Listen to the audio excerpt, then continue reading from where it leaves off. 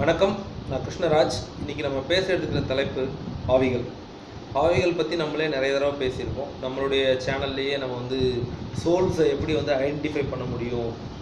இதுக்கு பிஹைண்ட் இருக்கக்கூடிய psychological abilities இதுக்கு பின்னால் இருக்கக்கூடிய மனோதத்துவ ரிலேட்டடான கான்செப்ட்ஸ் எல்லாமே பேசியிருக்கோம். கட்டுக்கதைகள் மித்ஸ் அப்படிங்கிறதுக்கும் நிஜத்துக்கும் எவ்வளவு டிஸ்டன்ஸ் அப்படிங்கிறத பற்றி நம்ம அலசியிருக்கோம். மூளையினுடைய ஒரு இல்யூஷனா இல்லை மூளையினுடைய ஒரு ஸ்பெஷல் அபிலிட்டி தான் ஆவிகளை உணர்றதா அப்படின்லாம் நம்ம பேசியிருக்கோம். அதனுடைய தொடர்ச்சியாக அதனுடைய நீட்சியாக நம்ம இன்றைக்கி பேச தயாராக இருக்கிறது. ஆவிகளை சோல்ஸ் அப்படிங்கிறத சயின்ஸ் ஏற்றுக்கலை அப்படிங்கிறது தான் பெரும்பான்மையானவர்களுடைய வாதமாக இருக்குது அப்படி இருக்கும்போது வேர்ல்டில் ரொம்ப ஃபேமஸான ரெண்டு விஞ்ஞானிகள் இணைந்து ஆவிகள் இருக்குது சோல்ஸ் அப்படிங்கிறது இருக்குது அப்படின்றத ப்ரூஃப் பண்ணியிருக்காங்க. நம்ப முடியல பட் அது எப்படி சொல்கிறாங்க அதுக்கு என்ன அறிவியல் அறிவியல் ஃபேக்டர்ஸை வச்சு அவங்க அதை முன்னெடுத்து வைக்கிறாங்க அப்படின்னு பார்த்தா நம்ம ஒரு சிக்ஸ் இயர்ஸ் பின்னாடி போகணும். டூ தௌசண்ட் டுவெலில் அமெரிக்காவை சேர்ந்த டாக்டர் ஸ்டூவர்ட் அண்ட் பிரிட்டிஷ் ஒரு நியூரோ சயின்டிஸ்ட் ஒரு டாக்டர் ரோஜர் பென்ரோஸ் அப்படிங்கிற ரெண்டு பேர் இணைந்து ஒரு தியரியை வெளியிட்டாங்க. இதுக்கு பேர் ஆர்ச் ஆர் அப்படின்னு சொல்கிறாங்க இதை நான் என்னன்றதை சிம்பிளாக சொல்கிறேன் ஸோ அடிப்படையில் நம்ம ஃபிலாசபிக்கலாக பேசும்போது ஆத்மா ஆவி அப்படிங்கிறது நம்ம இறந்தப்புறமா நம்ம பாடியினுடைய ஷட் டவுன் அப்படிங்கிறது நடந்தப்புறமா நம்ம உடம்புல இருந்து பிரியிற ஏதோ ஒரு ஆதார சக்தி நம்ம உயிர் ஆவி ஆத்மா சோல் வெவ்வேறு வார்த்தைகளை சொன்னாலும் எனர்ஜி எப்படி சொன்னாலும் எல்லாமே ஒன்று தான் ஸோ இந்த சோலுக்கான காரணத்தை நம்ம அறிஞ்சால் எது வந்து நம்மளுடைய உயிர் ஆர் நம்மளுடைய ஆவின்னு நம்ம சொல்கிறோம் அப்படின்னு பார்த்தீங்கன்னா நம்மளுடைய சுய நினைவு நம்மளுடைய கான்ஷியஸ்னஸ் இப்போ நான் யார் அப்படிங்கிறத அந்த ஓரியன்டேஷன் தான் என்னுடைய கான்சியஸ்னஸ் நான் சொல்கிறேன் இந்த ஓரியன்டேஷன் பற்றி இந்த சேனலுடைய முதல் வீடியோவில் நம்ம பேசியிருக்கோம். அந்த ஓரியன்டேஷன் கொடுக்கறது ரெக்டிகுலர் ஆக்டிவேஷன் சிஸ்டம்ங்கிறது மூளையினுடைய ஒரு பகுதி. அது வந்து மூளையினுடைய ஹைண்ட் பார்ட்டில் இருக்குது அப்படின்லாம் நம்ம பேசியிருக்கோம். ஸோ அதே விஷயத்தை கொஞ்சம் டச் பண்ணிவிட்டு நம்ம அடுத்து ஃபர்தராக போகலாம் ஸோ ஓரியன்டேஷனை பொறுத்த வரைக்கும் மூணு வகைப்படும். டாக்டர்ஸ் யாராவது ஃபிசியோஸ் சாரி மெடிக்கோஸ் யாராவது பார்த்துட்ருக்கீங்கன்னா அது உங்களுக்கு ரொம்ப ஈஸியாக புரியும்னு நினைக்கிறேன்.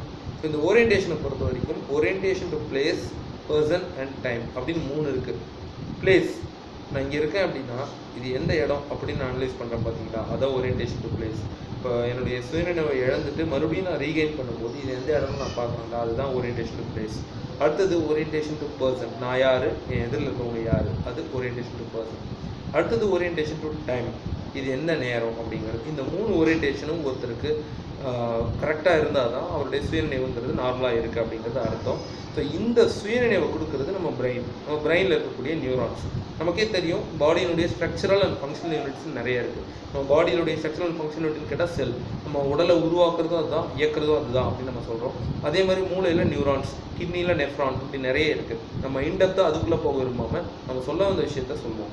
கிட்டத்தட்ட நைன்டீன் நைன்டிஸ்லேருந்தே ரிசர்ச் டாப்பிக்காக இருந்த இந்த விஷயத்த டூ தௌசண்ட் டுவெல்ல இவங்க ஒரு ஓஆர்சிஹெச்ஓஆர் ஆர்ச் ஆர் அப்படிங்கிற ஒரு கான்செப்டாக இவங்க வந்து முன்னெடுத்து வைக்கிறாங்க. அதாவது இவங்க சொல்ல வர விஷயம் என்னென்னா மூளையில் இருக்கக்கூடிய நரம்பு செல் அதாவது நியூரான்ஸ் அப்படின்னு நம்ம சொல்கிறோம் நம்மளுடைய நினைவுகள். இப்போ கிருஷ்ணராஜ்னு ஒருத்தன் இருக்காங்க அந்த கிருஷ்ணராஜ் பற்றின நினைவுகள் அந்த நெட்வொர்க்ஸ் நம்ம மூளையில் இருந்தால் தான் இந்த இப்போ நான் ஒரு புது மனுஷனை மீட் பண்ணுறேன் அப்படின்னா என்னுடைய பிரெயினில் ஒரு புது நியூரான் கனெக்ஷன் எஸ்டாப்ளிஷ் ஆகுது. ஸோ இதுதான் நம்ம நினைவுன்னு சொல்கிறோம் மெமரி அப்படின்னு சொல்கிறோம் ஸோ அந்த நியூரான்ஸுக்குள்ள நியூரான்ஸுங்கிறது மற்ற செல்ஸ் மாதிரி டிவைட் ஆகக்கூடிய தன்மை உடையது கிடையாது. நியூரான்ஸுக்கு டிவிஷன் அப்படிங்கிறதே கிடையாது. ஸோ அதனால் அதுக்குள்ள மைக்ரோ டிபியூல்ஸ் கிட்டத்தட்ட ஒரு நம்ம இந்த இன்டர்நெட்டுக்கு யூஸ் பண்ணுற ஆப்டிக்கல் ஃபைபர் கேபிள் தான். சொல்கிறது சில பேருக்கு கொஞ்சம் ஃபன்னியாகவும் சில்லியாகவும் இருக்கலாம். பட் ஃபேக்ட் அவங்க கொடுத்த சாராம்சம் இதுதான்.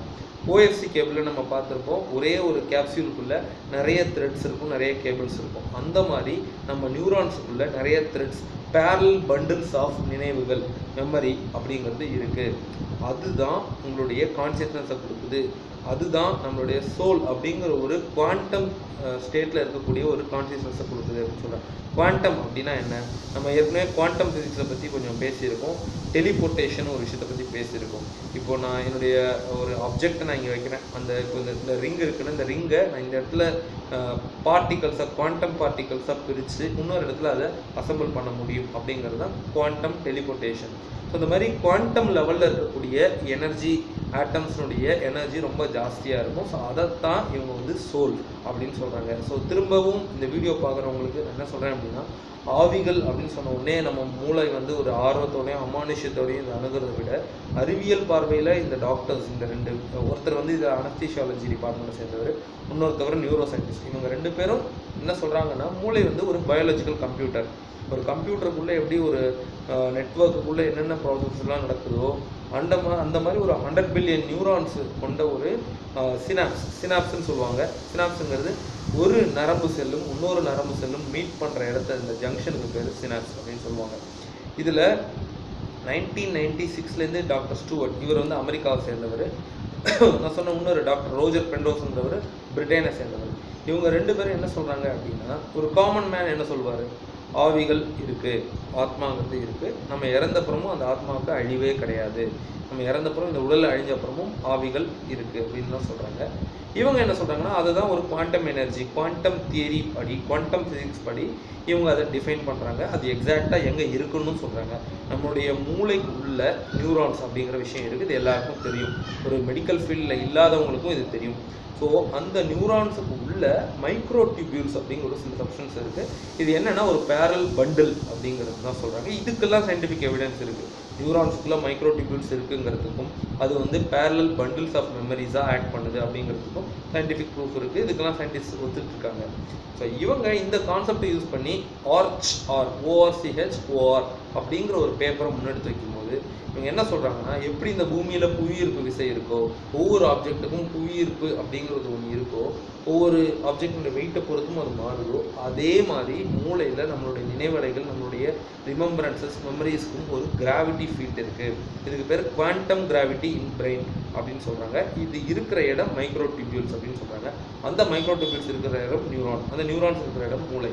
சிம்பிளாக சொன்னால் நம்மளுடைய ஆத்மாங்கிறது நம்மளுடைய மூளையில் இருக்கக்கூடிய மைக்ரோ டிபியூல்ஸ் அந்த ஆத்மா திரும்ப நம்மளுடைய ஹார்ட் நின்று போன அப்புறமா நம்மளுடைய பிளட் ஃப்ளோ ஆகுது நின்று போன அப்புறமா நம்மளுடைய பல்ஸ் நின்று போன அப்புறமா தொ- தொடர்ச்சியாக அதனுடைய ஆக்டிவிட்டீஸினுடைய அதனுடைய குவாண்டம் ஸ்டேட் அது இழந்துருது அப்படின்னு சொல்கிறாங்க குவாண்டம் அப்படிங்கிறது ஒரு என்ன சொல்கிறது இன்விசிபிள் ஸ்டேட் அப்படி சொல்லலாம். சிம்பிளாக சொல்லணும் ஏன்னா குவாண்டம் சினாப்ஸ் இந்த மாதிரி வார்த்தைகள் நான் பயன்படுத்தும் போது கொஞ்சம் டிஃபிகல்ட்டாக இருக்கிறான் பார்க்குறவங்களுக்கு.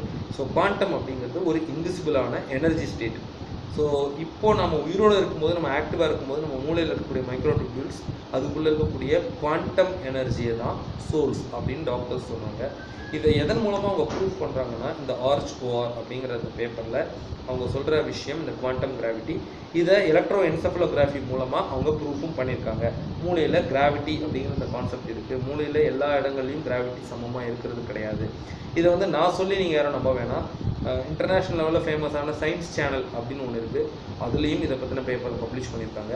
ஹஃபிங்டன் போஸ்ட் அப்படின்னு சொல்லி ஆன்லைனில் நிறைய ரொம்ப ஃபேமஸான சயின்ஸ் ஆர்டிகல்ஸ் அண்ட் ட்ரெண்டி ஆர்டிகல்ஸ்லாம் வரக்கூடிய ஒரு ஒரு ஜேர்னல் இருக்குது அண்ட் டெய்லி மெயில் அப்படிங்கிற ஒரு ஜேர்னல் இருக்குது இது எல்லாத்துலேயுமே இந்த விஷயத்தை பப்ளிஷ் பண்ணியிருக்காங்க.